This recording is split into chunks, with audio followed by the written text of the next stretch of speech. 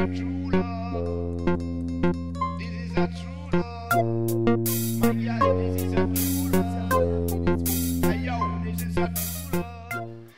Leute, in dem Video geht es um die Wahrnehmung, darum, wie äh, deine Glaubenssätze deine Realität bestimmen. Wie das, was du denkst, deine Gefühle und ähm, ja, dein Glück bestimmen. Ja.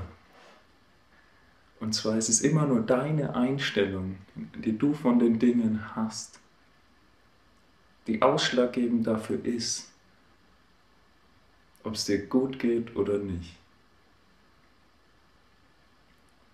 Und zum Beispiel habe ich neulich ein Video gesehen von so einem Yogi und da erzählt er so,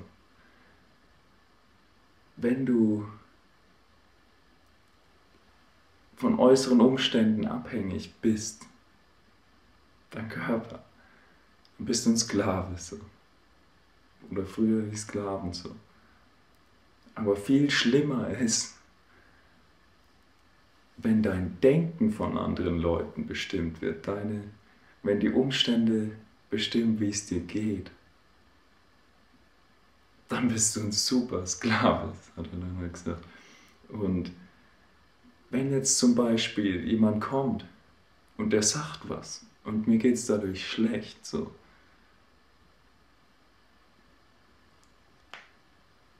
dann ist es nur beruhend auf meiner Einstellung, so auf meiner Wahrnehmung,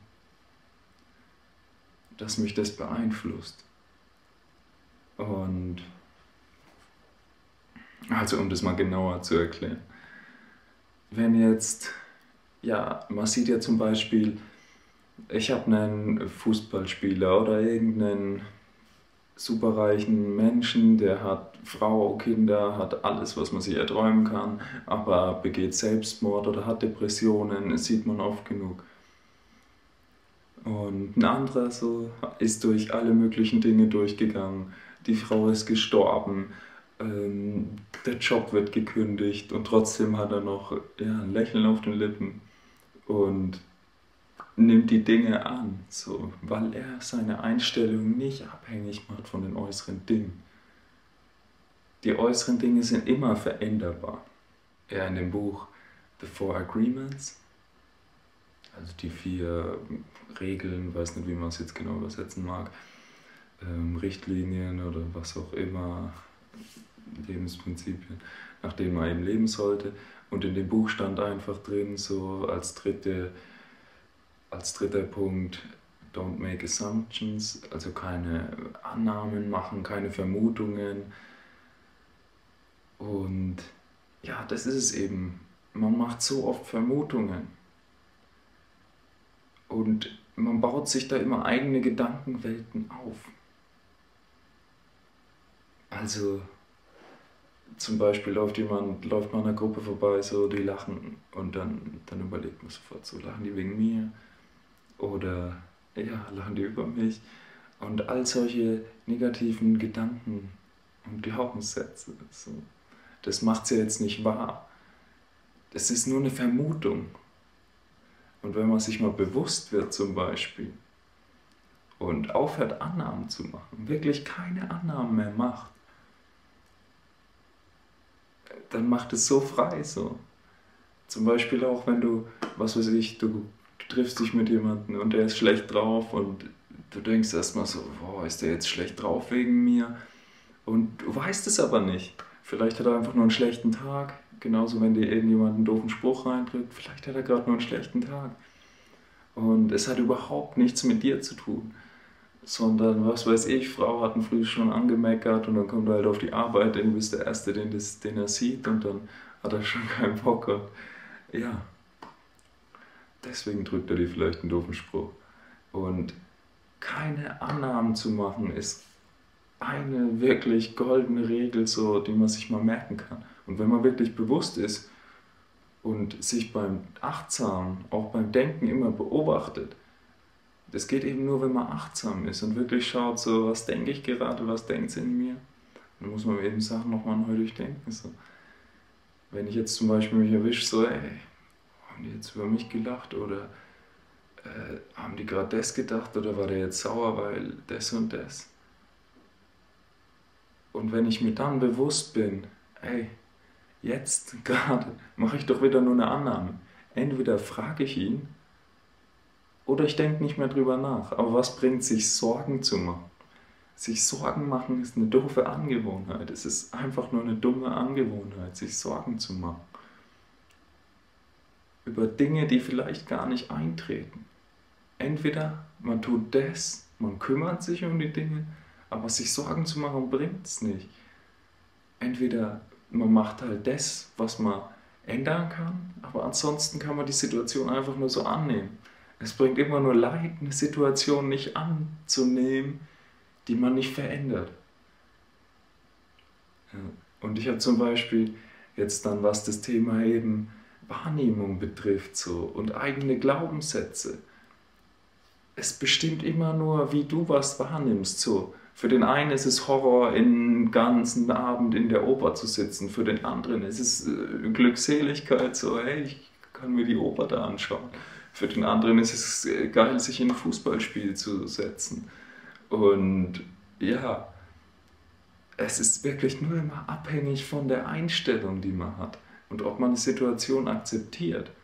Und interessant fand ich zum Beispiel das Bild, da habe ich neulich so ein Spruchbild gesehen ähm, da stand drauf, dass Edison, also der Erfinder, dem hat äh, seine Mutter damals einen Brief vorgelesen, er hat gesagt, ähm, er hat einen Brief von der Schule bekommen und da stand drin, dass sie ihn aus der Schule nehmen sollte, weil er eben hochbegabt ist und sie können ihn da nicht richtig fördern. Ähm, ja, und ihm da nicht die richtigen Mittel bieten. Und ja, später wurde Edison eben ja, Erfinder und hat so viel hervorgebracht. Und in dem Brief stand aber eigentlich drinnen, stand dann in dem Bild, auf dem Bild, dass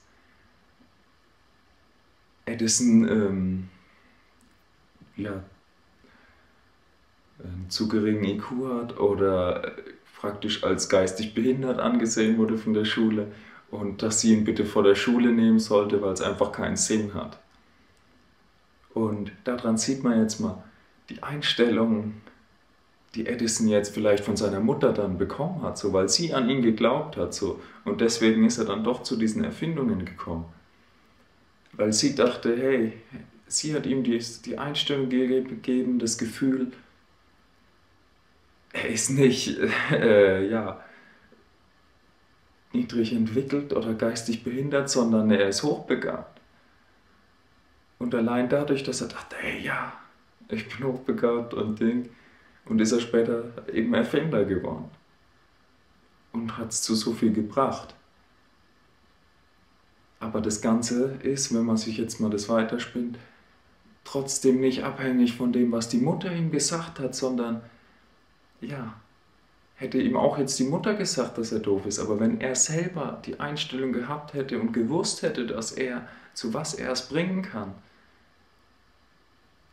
dann wäre es völlig egal, was irgendjemand im Äußeren ihm sagt oder von ihm hält. Er hätte es dann trotzdem dazu gebraucht. Und deswegen, er glaubt, ihr müsst, man muss viel mehr an sich selbst glauben und sich selbst seine Gedanken, ja, Sätze und seine Glaubenssätze, die man hat, bewusst machen und man muss die wirklich logisch nach Wahrhaftigkeit hinterfragen. So. Nur weil alle sagen, ähm, dass es nicht geht, muss das nicht so sein. So wie eben auch dieser Spruch so, alle haben gesagt, es geht nicht, da kam einer, der wusste es nicht und hat es gemacht. Es kommt nur auf die Einstellung drauf an. Und wir begrenzen uns oft so viel durch unsere Glaubenssätze, durch unsere Wahrnehmung, was wir für wahr halten, nur weil jeder andere sagt, hey, das ist nicht möglich. Es ist nicht möglich, äh, sich von Krebs zu heilen. Nee, das ist eine unheilbare Krankheit. Allein mit dieser Diagnose oder sie werden in drei Monaten sterben, damit setzt man schon den Glauben und, und diese Überzeugung, dass es so sein wird. Wenn eben ein Arzt zu seinem Patienten sagt, nee, in drei Monaten werden sie sterben und der, der Patient glaubt halt nur mal normalerweise dem Arzt. Und solche Diagnosen, das ist einfach ja, sowas Unverantwortliches eigentlich. Aber wenn man eben gefestigt ist und selbst weiß, was man kann, was man nicht kann, und sich selbst seine Wahrnehmung bildet und auch sehen kann, dass manchmal auch alle falsch liegen können. Ja, jahrzehntelang war Versklavung normal, Frauenrechte und all solche Dinge waren noch ganz anders und völlig normal in der Gesellschaft akzeptiert. Und trotzdem ist es vielleicht nicht richtig. Und nur weil es alle machen, ja, heißt es heutzutage sowieso gar nichts. Heutzutage ist es meist eher das Gegenteil der Fall. Ja. Und deshalb, ja, bildet euch eure eigene Überzeugung und seid da gefestigt. Lasst euch nicht so leicht verwirren.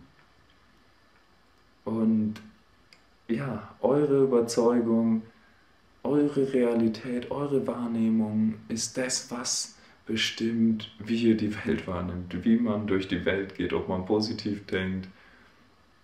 Ja, und eine Situation akzeptiert, verändert oder verlässt, das sind eben eigentlich immer nur die Optionen.